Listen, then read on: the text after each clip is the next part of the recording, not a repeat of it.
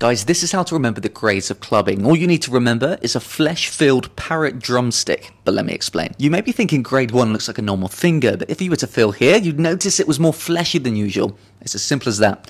Grade 2 becomes more obvious. Firstly, we can see the finger gets wider, and secondly, that Schamroth's window gets obliterated. Take a look at the image with the angles, and you'll see that at point B in grade 1, which is the image above, it's got the angle as we expect it to, but grade 2, we can see it's filled in now.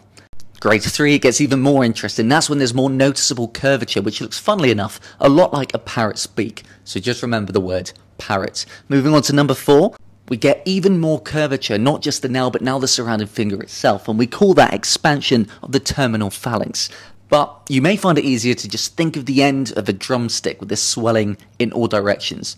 And there you have it, grades 1, 2, 3, and 4 clubbing. Just remember a fleshy, filled parrot drumstick. If you found this useful, let me know by dropping me a like and a follow, and I'll make some more for you.